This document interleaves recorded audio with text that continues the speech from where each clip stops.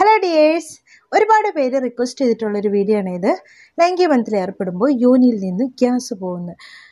നമ്മുടെ വളിയൊക്കെ പോകുന്ന പോലത്തെ ഒരു സൗണ്ട് ഇതെന്തായിരിക്കും കാരണം? കുഴപ്പമാണോ പിന്നെ നമ്മുടെ മലദ്വാരത്തിലൂടെ വരുന്ന ആ ഗ്യാസുമായിട്ട് ഇതിന് ബന്ധമൊന്നുമില്ല കേട്ടോ. അത് ഡൈജഷൻ നടന്ന് നമ്മുടെ ആ ബാക്ടീരിയാസൊക്കെ ഒരുപാട് പ്രവർത്തനം കഴിച്ചിട്ടുണ്ടെങ്കിൽ സ്മെല്ലി ആയിട്ട് വിടുന്ന ഗ്യാസ് എന്നാൽ അത് ഇതുമായിട്ട് ഒരു ബന്ധമില്ല കേട്ടോ. ഡൈജഷന്റെ ഒക്കെ ഒരു ബൈ പ്രൊഡക്റ്റ് ആയിട്ട് വരുന്നതാണ് ആ ഗ്യാസ്. എന്നാൽ ഈ ഗ്യാസ് എന്താവും വരാൻ വേണ്ടി കാരണം? ഇത് വല്ല മോശമാണോ? ഇതെങ്ങനെ മാറ്റിയെടുക്കാം? എപ്പോഴാണ് ഒരു ഡോക്ടറെ കണ്ടേ? ഇന്നിതെല്ലാം നോക്കാം കേട്ടോ. അതിനു മുമ്പ് ഒരു കാര്യം പറയട്ടെ. പോലുള്ള വീഡിയോ കണ്ടിട്ട് അതിനൊക്കെ അഡിക്റ്റായിട്ട് സ്വയംഭോഗം ചെയ്യുന്ന ആൾക്കാരാണോ നിങ്ങൾ അതിലൂടെ മാത്രം സാറ്റിസ്ഫാക്ഷൻ കിട്ടുന്ന ആളാണോ? പാർട്ട്ണറുമായിട്ടുള്ള ലൈംഗിക എന്തൊക്കെ അത്രയധികം സുഖമൊന്നും കിട്ടുന്നില്ലേ? ചിലപ്പോൾ അത് ശിഖരസ്ഖലനൊക്കെ ആയിട്ട് മാറുന്നുണ്ടോ? എങ്കിൽ നിങ്ങൾ ഉറപ്പായിട്ടും കേട്ടിരിക്കേണ്ട ഒരു ഓഡിയോ ബുക്ക് ഉണ്ട്. കണ്ടിട്ട് നമ്മൾ സ്വയംഭോഗം ചെയ്യുമ്പോൾ നമുക്ക് എന്താണ് ശരിക്കും സംഭവിക്കുന്നത്?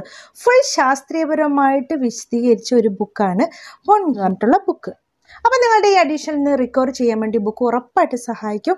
വളരെ യൂസ്ഫുൾ ആയിട്ടുള്ള ബുക്കാണ് ഇത് കുക്ക് ഓഫ് അവൈലബിൾ ആണ് കേട്ടോ ഫിഫ്റ്റി പെർസെന്റേജ് ഓഫറിൽ നാൽപ്പത്തൊമ്പത് രൂപയ്ക്ക് നിങ്ങൾക്ക് ഒരു മാസത്തേക്ക് കുക്ക് ഓഫ് ഫോം ഉപയോഗിക്കാൻ വേണ്ടിയിട്ട് ശിശിര ടു എന്ന് പറഞ്ഞിട്ടുള്ള കൂപ്പൺ കോഡ് യൂസ് ചെയ്താൽ മതിയെ. ഈ നാൽപ്പത്തൊമ്പത് രൂപയ്ക്ക് പത്തായിരത്തിലേറെ മണിക്കൂറോളം കേൾക്കാവുന്ന ഓഡിയോ ബുക്സ് അവിടെ ലഭ്യമാണ് കേട്ടോ നിങ്ങൾ ഇഷ്ടത്തിനനുസരിച്ച് കേൾക്കാം. ഡൗൺലോഡ് ചെയ്യാനുള്ള ലിങ്ക് ഡിസ്ക്രിപ്ഷൻ ബോക്സിനും ഫസ്റ്റ് കമന്റായിട്ടും പിൻ ചെയ്തേക്കാം കേട്ടോ അപ്പം ലൈംഗിക ബന്ധത്തിൽ ഏർപ്പെടുമ്പോൾ യോനിയിൽ നിന്ന് വരുന്ന ഈ വളി പോലത്തെ സൗണ്ട് എന്താണ് ശരിക്കും? ശരിക്കും യോനിയിൽ ഓൾറെഡി കുടുങ്ങിയിരിക്കുന്ന എയർ പുറത്തേക്ക് പോകുന്ന സൗണ്ടാണത് ഇപ്പം നിങ്ങൾ ലിംഗം ഉള്ളിലോട്ട് പ്രവേശിക്കുമ്പോഴോ അല്ലെങ്കിൽ ടോയി ആണെങ്കിലോ വിരലുകളാണോ ഒക്കെ ഉള്ളിൽ നിന്ന് പുറത്തേക്ക് എടുക്കുമ്പോൾ അതിലേക്ക് എയർ കയറും.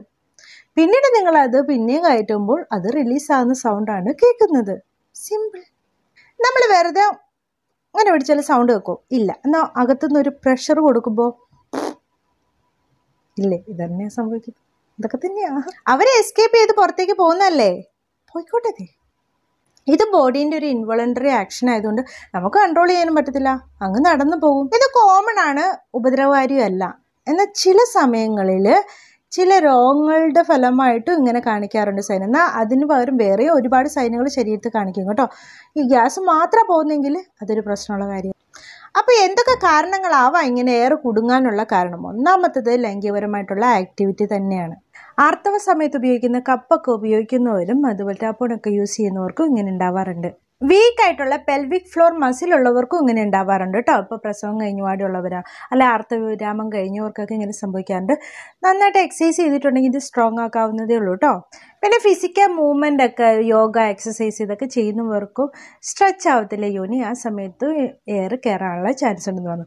അതുപോലെ ഗൈനക്കോളജിസ്റ്റിന്റെ അടുത്ത് പോയി അറിയാം നിങ്ങൾക്ക് യോനി പരിശോധിക്കുന്ന സമയത്തും ഇങ്ങനെയൊക്കെ സംഭവിക്കാറുണ്ട്. അപ്പോൾ എപ്പോഴാണ് ഒരു ഡോക്ടറെ കാണിക്കേണ്ടത്? യോനിയിലൂടെ ഇങ്ങനെ ഗ്യാസ് വരും. ആ ഗ്യാസിന് വളരെ സ്മെല്ലുണ്ടെങ്കിൽ മോശമായിട്ടുള്ള സ്മെല്ലുണ്ടെങ്കിൽ ഡോക്ടറെ കാണിക്കും ഇങ്ങനെ ഗ്യാസ് വരുമ്പോൾ പെയിൻ ഉണ്ടെങ്കിലും ഒരു ഡോക്ടറെ കാണിക്കണം. യോനിയിലൂടെ പഴുപ്പോ അല്ലെങ്കിൽ മലമൊക്കെ ലീക്കി ആയിട്ട് വന്നിട്ടുണ്ടെങ്കിലും കാണിക്കണം. അതുപോലെ നിങ്ങൾക്ക് ഇങ്ങനെ ഗ്യാസ് വരികയും തുടർച്ചയായിട്ട് കറണ്ട് വന്നു.